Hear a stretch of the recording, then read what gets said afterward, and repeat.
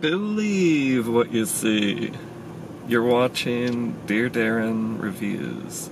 So it's kind of a cash Sunday, and I wanted to go out, but not really go out. So I decided to drag you guys out to Starbucks with me yet again, so I could grab some easy eats. I was hoping that I'd be able to grab one of those pumpkin cream cheese muffins to share with you guys because they're so good. But the person working there told me that uh, all the stores have been out for days, so apparently it's an epidemic. I noticed that they had a new pumpkin cream cold brew, and it looks delicious. I was only recently introduced to the joys of the pumpkin spice latte at Starbucks, and that's made me very curious to see how this compares. I have to say that I love these little cups they use. It seems like they're specially designed to allow you to taste the foam but preserve it as you sip each sip. It's somewhat ingenious. Here we go.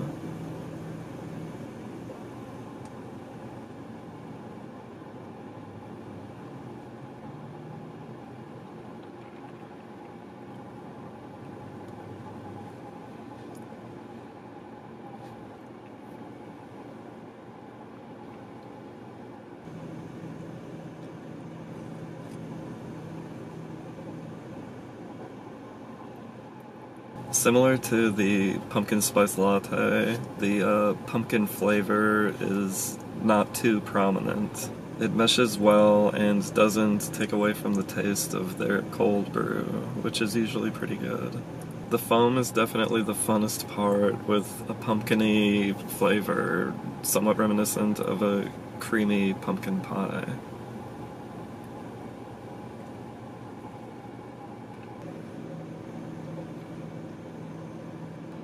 It's a really good one, and I'm noticing the foam is disappearing a little faster than it has on uh, other foamy cold brew drinks I've had from them, so get it while it's good. The last time I was here at Starbucks with you, I didn't have the best experience with my breakfast sandwich, but I'm trying it again. This time I picked up the bacon Gouda egg sandwich. It comes on this nice, somewhat firm little roll, and underneath the roll, we've got some nice light Gouda cheese, some bacon slices, and underneath those, there's a little scrambled egg patty.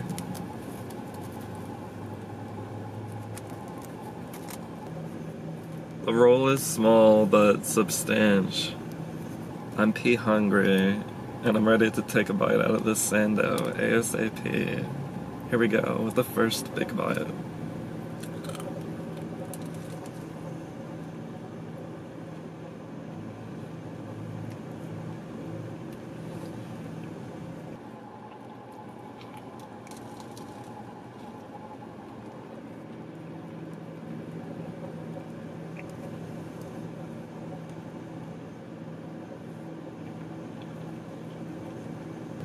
The scrambled egg patty doesn't taste too cheap. It's a nice texture and somewhat similar to the roll. The bacon isn't crispy or anything, but it does add some nice and needed saltiness. It's hard to see the Gouda cheese because it kind of merges with everything, but it's very prominent and very delish.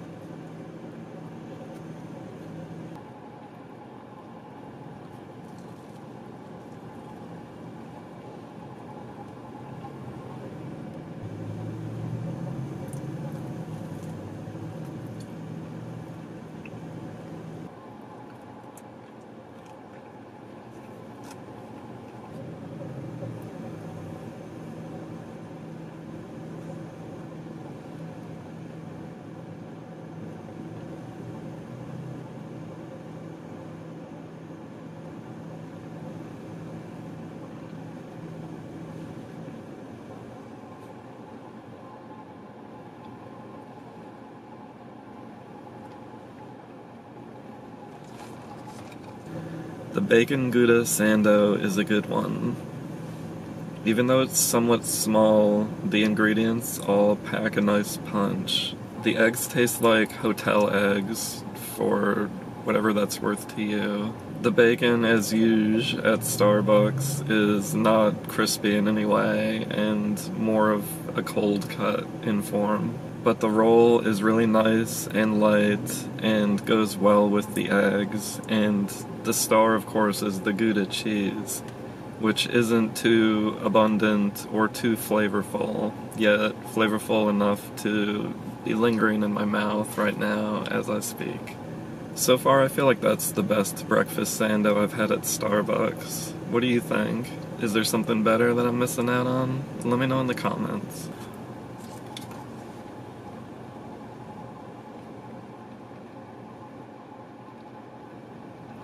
Well, guys, I'm gonna take this pumpkin cream cold brew and scram on out of here. But before I go, be sure you like this video. Also, click that subscribe button if you haven't already. And next to the subscribe button, there's a little bell icon. Go ahead and tap that button. That way you'll get an email notification each time I upload a new video. Be sure to check out my other vids, and I've got a couple other Starbucks reviews in there that you might enjoy. Also, feel free to check out my music, there will be a link in the description. Well, guys, I had fun tearing into this Starbucks on this Cash Sunday, and I hope you had fun too. I'll see you all next time. Thanks for watching. Bye!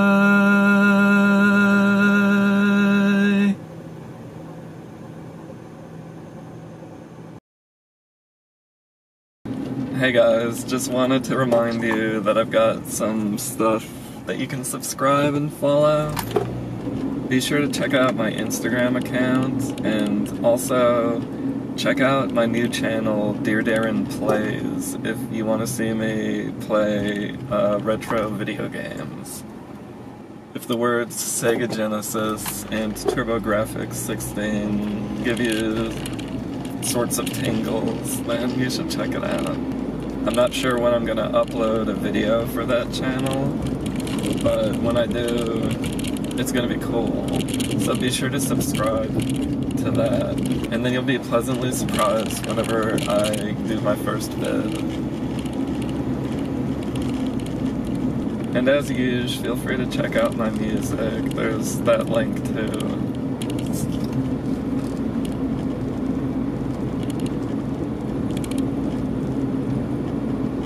Well, guys, like I said, this drink is a-okay and worth checking out if you dig Starbucks and their pumpkin flavoring.